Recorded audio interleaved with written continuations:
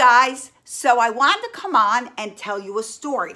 And this story is interactive, which means you get to do a lot of fun stuff while I'm telling the story. Now, this story is a story that has been populated over the years with American Indians. And it's a really fun story all about a little mouse that wants to fly and doesn't give up. So, this is what you need to do to tell the story with me. First, you need to hold up your hands and then you need to scream, ah! And down to the ground. Let me back up so you can see that a little better. Ah! Okay? Next, you need to do some other things with your arms because we're sitting and staying in place. So you need to go like this. Can you go like that?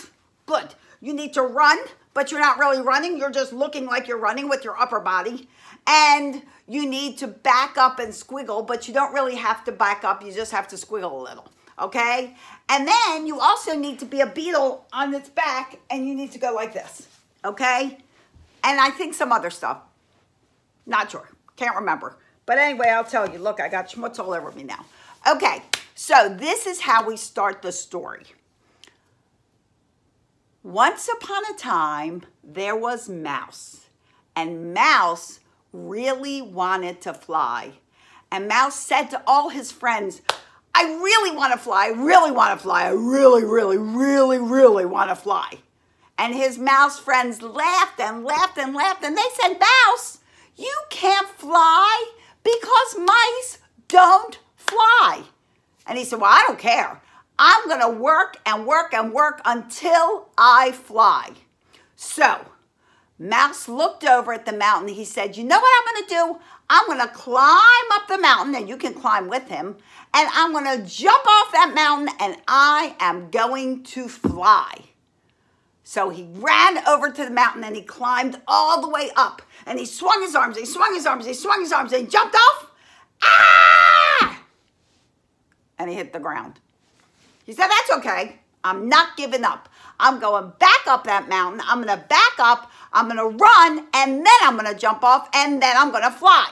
So he ran back up the mountain and he backed up a little bit and a little bit more. And then he ran and he ran and he ran and he ran and he swung his arms, swung his arms, swung his arms, swung his arms, jumped off. Ah! Crashed to the ground. Ouch. So that's all right. Not giving up. Goes this time, I'm going to go to the top of that mountain. I'm going to back up farther. I'm going to run faster. I'm going to jump higher and I'm going to fly. So he climbed back up the mountain and he backed up, he backed up, he backed up, he backed up a little more and a little more, and a little more. And he ran and he ran and he ran and he ran and he ran as fast as he could and he ran and ran and swung his arms and swung his arms, swung his arms, swung his arms, jumped off. Ah! Crashed again. Well, while this happened, down came the great creator. And the great creator said, Mouse, what are you doing? And Mouse said, Great creator, I really want to fly. I really want to fly. I really want to fly. Please, please, please, please, please, please, can you help me fly? And he said, Well, Mouse, I think I'll make you a deal. If you do three good things for three other creatures, I will help you fly. Do you agree to that? He goes, Absolutely. I'll do three good deeds. I'll be right back. So he said, Okay and off went Mouse. And Mouse was walking around, walking around, walking around, and he saw in the field Grandma Mouse working really hard and picking all the food for her village. And he said, Grandma, I will help you. And he ran into the field and he gathered food and he carried it all the way back to the village for Grandma Mouse. Grandma Mouse turned around, said, Thank you, Mouse. And she walked away.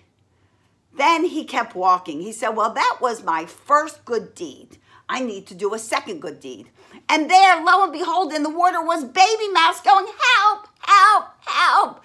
And mouse said, I will help you, baby, and jumped in the water, took him out of the water, put him on land, and baby mouse turned around and said, thank you, mouse, and she ran off. And he said, oh, that's two good deeds. Need one more. So he walked around, he walked around, and lo and behold, he saw Beetle, and Beetle was on his back and he was kicking his legs. And Mouse said, Beetle, what are you doing?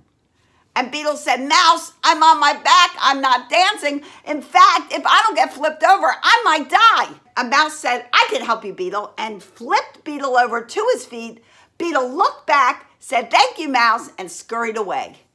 That was his third good deed. And along came the great creator. And the great creator said, Mouse, I am so proud of how you've helped your fellow creatures. I am going to help you fly.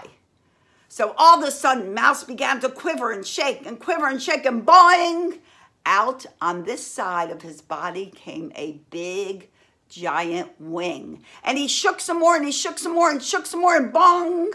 Out of this side came another wing. Now Mouse had two big wings and he looked at his wings and said, hmm, this might just work. So he climbed back up to the mountain and he backed up and he backed up and he backed up a little farther and he ran and he ran and he ran and he ran and he ran faster and faster and he swung his arms and swung his arms, swung his arms, swung his arms, jumped off. And Mouse flew away. And do you know what Mouse became? Can you guess? You're right. Mouse became a bat. And that is how mice became bats. So I hope you enjoyed that story and I hope when you're you want something, you stay determined and you don't ever give up. I'll see you here next time in Pumped Up Parenting and all around the web. Bye guys.